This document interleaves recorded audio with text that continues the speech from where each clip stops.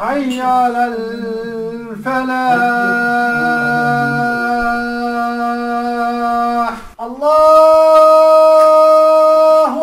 Abdé Samad euh, Belouidj, bonjour. Bonjour. Beaucoup de visiteurs aujourd'hui pour l'ouverture de cette mosquée euh, lors de ce week-end.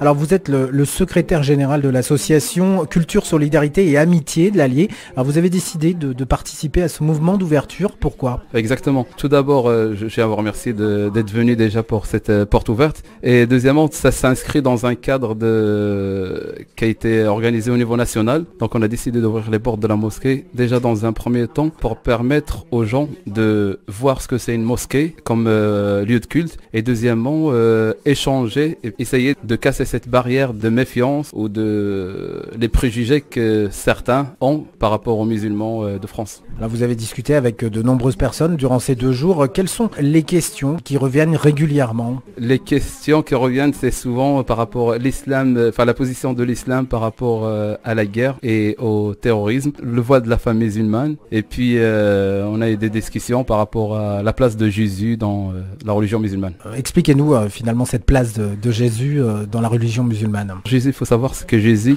c'est un prophète comme le prophète Mohammed sallallahu alayhi wa sallam, et qu'il est honoré. On peut pas être musulman, croyant, sans croire à Jésus en fait. Parmi les piliers de la foi dans l'islam, c'est croire à Allah, à Dieu et à ses messagers. Et parmi ces messagers, il y a Jésus. Donc si on ne croit pas à Jésus, on n'est pas musulman. Alors finalement, entre toutes ces, ces religions, que ce soit la religion euh, catholique, que ce soit euh, la religion juive, il y a finalement quelque chose de commun. On croit finalement tous au, au même Dieu. Exactement. Je crois que l'islam n'est que la continuité des autres religions. Et juste avant l'islam, il y avait le christianisme. Et juste avant, il y avait les- le judaïsme. Et puis, euh, tous les prophètes, ils sont venus pour unifier les gens et leur faire comprendre qu'il n'y a de Dieu qu'un seul Dieu, qui est Allah, notre créateur. Alors depuis l'année dernière, donc différents attentats ont touché euh, donc la France, notamment Paris. Euh, ces attentats euh, finalement touchent évidemment donc les Français et touchent les musulmans aussi en particulier. Exactement. Bah, D'ailleurs, c'est dans ce cadre aussi que ça s'inscrit cette porte ouverte et pour manifester aussi notre soutien aux victimes de ces événements, mais aussi pour dire que je- pour dire aux gens que on est touché comme eux en tant qu'être humain tout d'abord et en tant que musulman parce que ces gens-là ont agi au nom de l'islam. Donc on est obligé de se mettre au premier rang et d'expliquer aux gens que ça n'a rien à voir et que c'est des gens euh, qui ont rien à voir avec euh, les musulmans de France. Alors nous sommes ici donc euh, dans cette mosquée. Euh, Décrivez-nous un petit peu les lieux. hein. Comment se dispose cette mosquée? Alors, la mosquée elle est, elle est sur une surface de 300 mètres carrés, divisée en deux étages, premier étage, deuxième étage. Le premier étage, c'est là où on se situe. Et à la partie principale, la grande salle, c'est la salle prière homme. Et juste derrière la salle on se trouve, c'est la salle des prières des femmes. Et en haut, on a le, le bureau administratif de l'association. Alors euh, vous vous réunissez plusieurs fois par jour ici, Plusieurs fois par semaine Cinq fois par jour pour ceux qui ont le temps. Et puis euh, le vendredi, c'est une prière obligatoire pour nous. Et on essaye euh, tous euh, d'être là le vendredi entre midi et 14h. Alors la prière, hein, ça, ça, dure pas très très longtemps en fait. Hein. Non, non, c'est un rituel de entre 4-5 minutes et puis on peut faire ce qu'on a à faire derrière. Allahu Akbar, Allahu Akbar, Allahu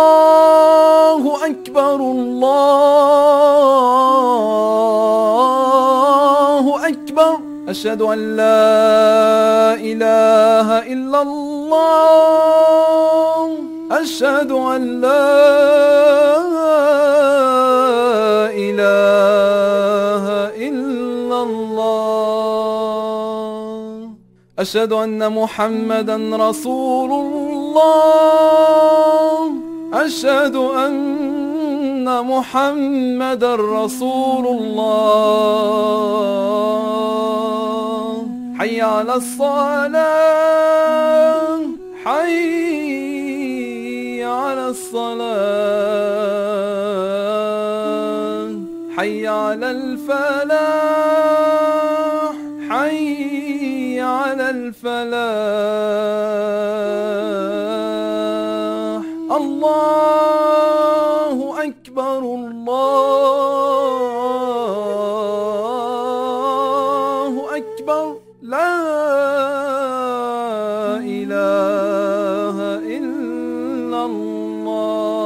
Vient de l'entendre. Alors qu'est-ce qui, qu'est-ce qui est dit? Quels sont, euh, quels sont ces textes?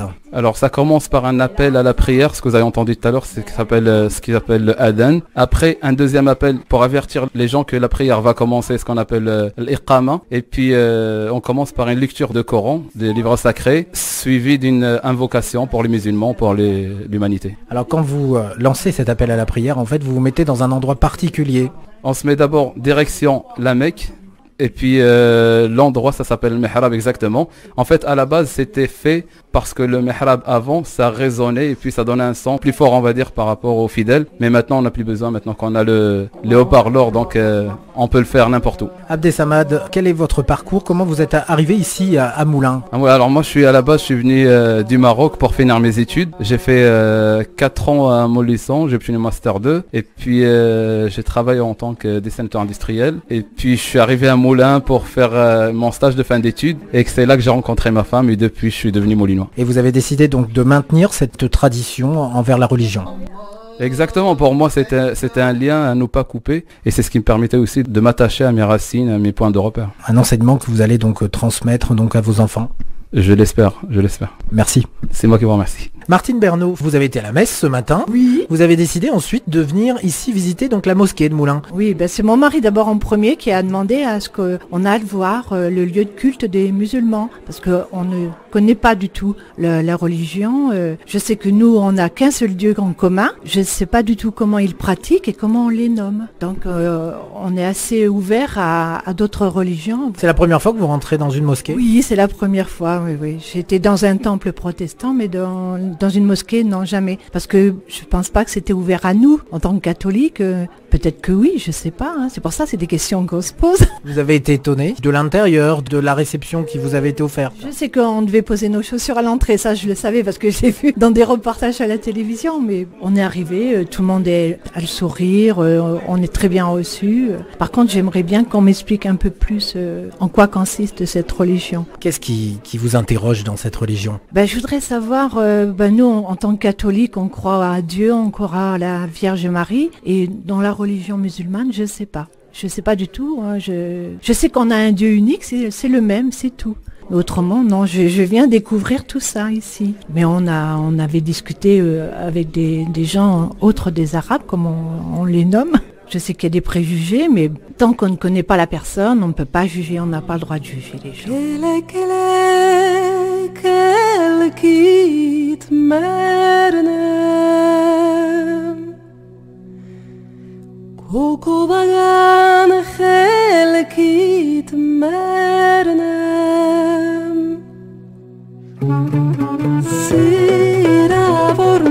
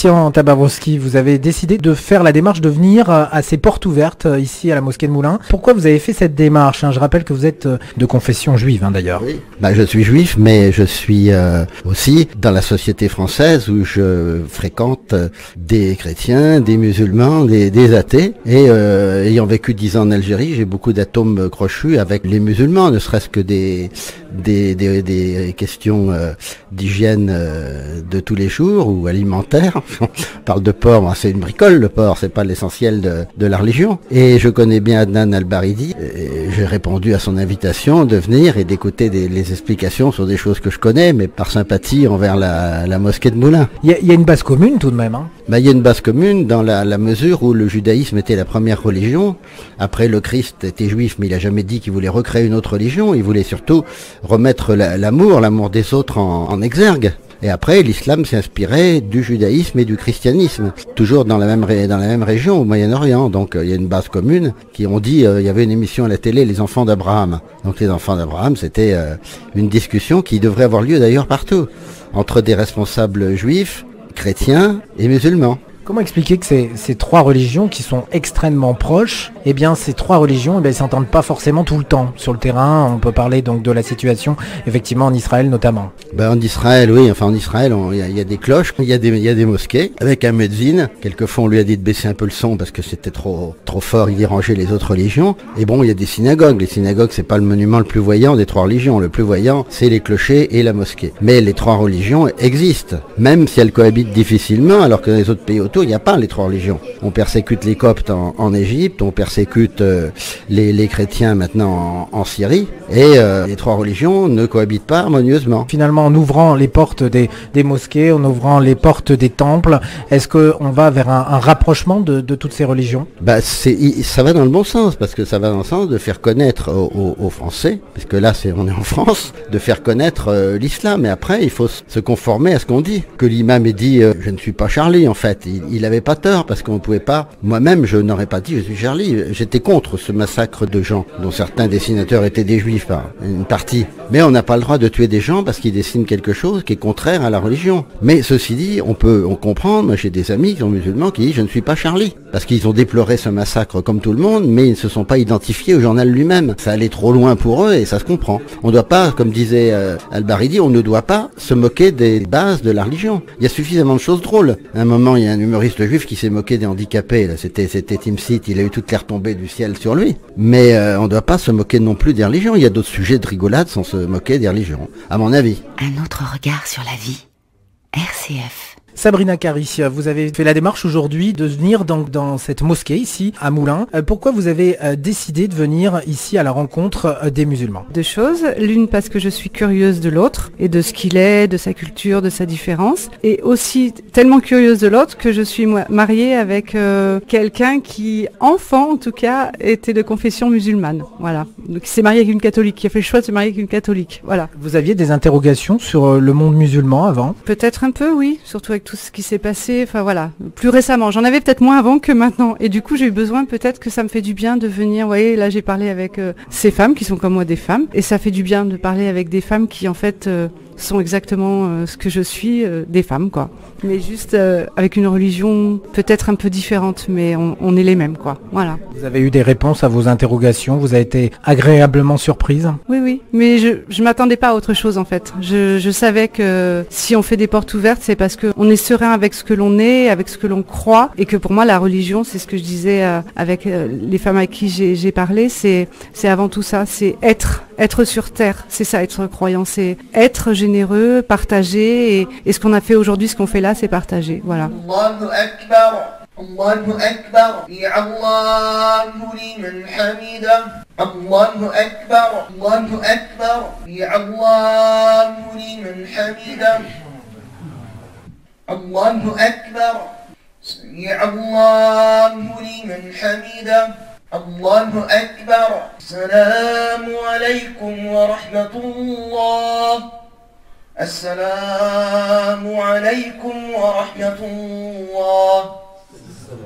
Docteur Adnan Albaridi, vous avez décidé d'ouvrir euh, les portes de la mosquée de Moulins. C'est un mouvement national. Pourquoi vous avez décidé de vous y associer? Oui, tout à fait, c'est un mouvement national. Et euh, nous, dès qu'on a entendu euh, cette initiative, eh bien, on était les premiers à le pratiquer, à ouvrir nos portes, en fait, aux citoyens pour voir ce que c'est qu'une mosquée et ce que c'est l'islam, parce que je pense qu'il faudra éclaircir l'islam aux non-musulmans, parce qu'il y a beaucoup de préjugés qu'il faut absolument casser. Alors justement, ces préjugés, parlons-en un petit peu parce que vous avez donc organisé, on va dire, des, des petits débats donc euh, avec euh, les, les visiteurs qui sont venus en, en nombre hein, euh, aujourd'hui. Quelles sont ces interrogations sur l'islam qui reviennent toujours en fait la position de l'islam vis-à-vis de, le- de- de l'agression, euh, vis-à-vis de la faim, vis-à-vis de la famille, et puis la position de l'islam vis-à-vis des non-musulmans. Donc c'est les presque les, les- les- les questions qui se répètent tout le temps. Vous sentez que les, les personnes ont obtenu les réponses qu'ils étaient venus chercher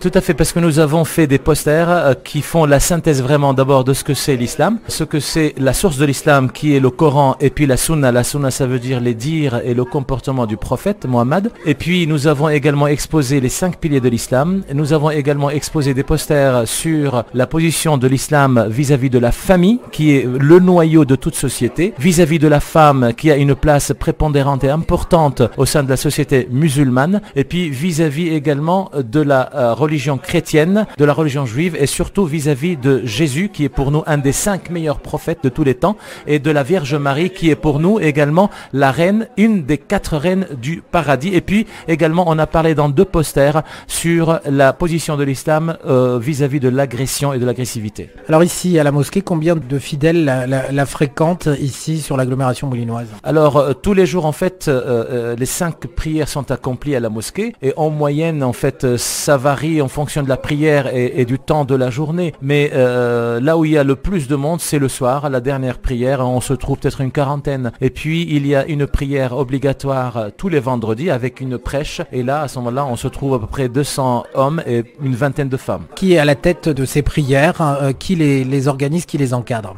Oui, en principe, moi, ça fait 18 ans que je le fais, donc j'organise et j'encadre, et puis je fais la prêche de vendredi également.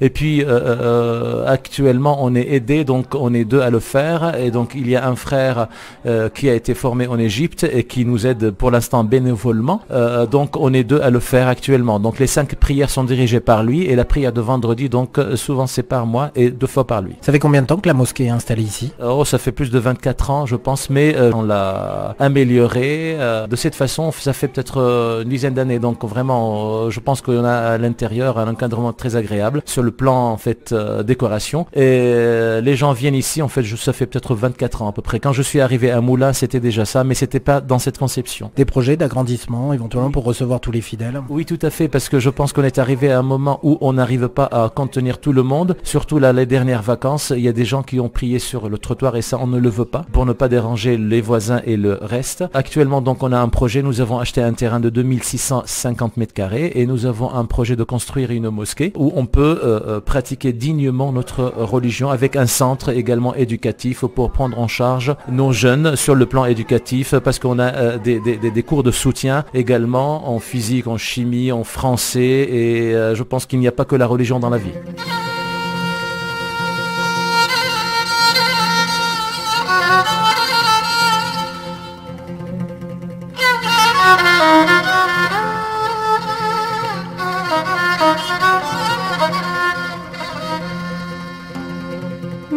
ουρανή που περνείς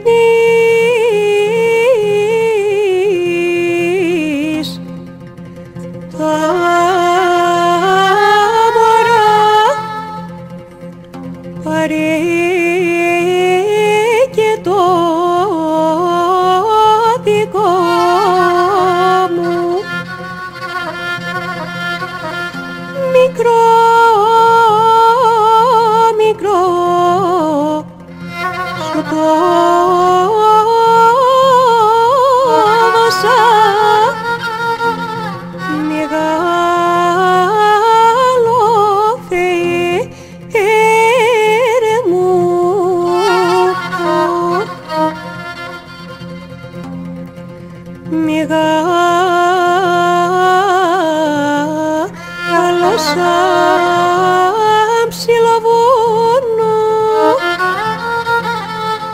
νησιός εκεί Παρίσι.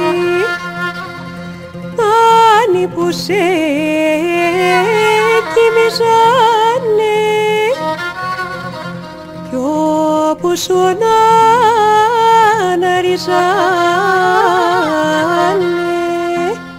Mokhtar Amina, vous êtes ici à la mosquée euh, de Moulins. Alors vous avez participé à l'accueil de ces visiteurs aujourd'hui. Vous avez décidé de vous engager dans ces portes ouvertes en tant que femme, en tant que musulmane. Ça vous fait un peu peur cette rencontre avec euh, ces visiteurs euh, d'autres confessions? Pas du tout. En plus, j'étais très heureuse pour ces portes ouvertes et je me posais la question pourquoi c'était pas avant? Voilà, on voyait beaucoup de monde qui arrivait, qui se posait de questions sur euh, l'islam. euh, Ils avaient des peurs. Ils- Ah oui, ça, c'est l'islam. Ah, je connais pas. Et euh, est-ce que c'est vrai qu'on tue dans votre religion? Est-ce que la guerre est, est dans le Coran? Et du coup, je répondais à toutes ces questions-là. Là vous êtes en face de moi, vous êtes voilé. Est-ce qu'il y a eu de- des- des questions autour du voile? Surtout, surtout du voile. Et surtout la question qui se pose, pourquoi vous, l'homme, il a le droit de, de faire quatre femmes? Et du coup, je répondis, je dis que, ah non, c'est par priorité, c'est pas qui est, c'est pas pour le plaisir, euh, c'est par euh, juste euh, si la femme, elle est d'accord. C'est juste si elle est d'accord. Si elle est pas d'accord, il a pas le droit. hein. Je vous le jure. hein. Comment vous êtes arrivé ici tout simplement en Bourbonnais, dans l'Allier, euh, à Moulins? En fait, euh, moi je suis ici depuis pas longtemps, hein, depuis deux ans.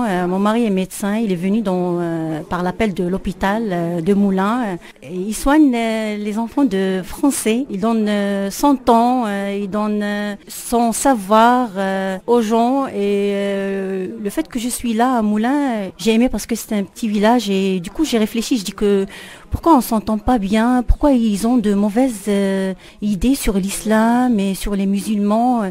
Pourquoi les, musulmans sont ici en France depuis un siècle plus? Moi, euh, 50 ans, je parle euh, surtout le- la communauté algérienne, euh, marocaine, et du coup, euh, ils savent pas encore, les Français, ils savent pas encore leur tradition, et ils sont toujours méfiants des, musulmans. Pourquoi? Et du coup, on sait tous que c'est après les, attentats et après que les gens deviennent prudents, de que avoir peur de l'autre, ils comprennent pas s'il est pratiquant ou pas. Et moi, je, vais vous dire euh, une chose que un musulman pratiquant, il, il tue pas les gens. Le regard de, l'autre a, changé depuis ces attentats, depuis un an? Est-ce que vous avez senti euh, finalement dans votre entourage, euh, lorsque vous êtes euh, dans la rue, quand vous, faites vos courses, est-ce que les gens vous, regardent différemment depuis quelque temps? Ah oui, dès qu'il qu'il voit mon voile, hein, des fois il y a, des gens qui se tournent derrière eux, il y a des gens qui laissent de l'espace, et si je passe, je les comprends, hein. je les comprends, parce qu'ils ont peur. Beaucoup de visiteurs aujourd'hui, c'est un espoir pour vous? C'est une chance pour euh, donner plus, comprendre leur religion, pour euh, partager les idées, dialoguer, communiquer, pour euh, vivre ensemble.